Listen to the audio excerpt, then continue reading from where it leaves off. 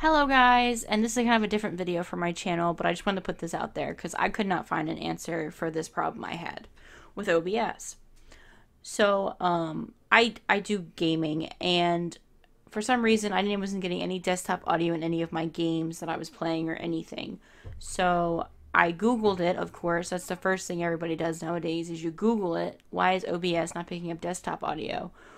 Well, I went to all almost all of these answers. Solution, game set no picking up audio, um, all this stuff.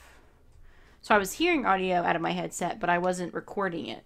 So I finally figured out that in your volume mixer, there's this little thing here. And if it's at zero, it won't pick up anything. And I'll show you what I mean. So if I just go to my channel, and I'm just going to click my um, montage. So if you look at this this bar right here on OBS, this desktop audio bar, it's not going to move. It's not going to be green like my mic is.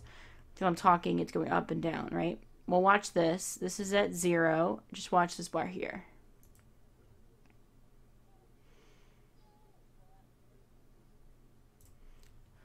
So I heard the audio, but I don't even think you guys heard that. So now if I turn this up, now watch. I just need to play this game without dying. Now it now you're here. Oh, when I died. Now you heard the video. So there's a little fix for you guys. If this OBS volume is at zero, you're not going to record any desktop audio. So thank you guys so much for watching. I hope this helps you. I it helped. I, I finally figured it out. Um, I didn't see anybody else figure that out or see if that fixed it. So I hope this guys helped you out. Thank you for watching, and I will see you in my other videos. Bye, guys!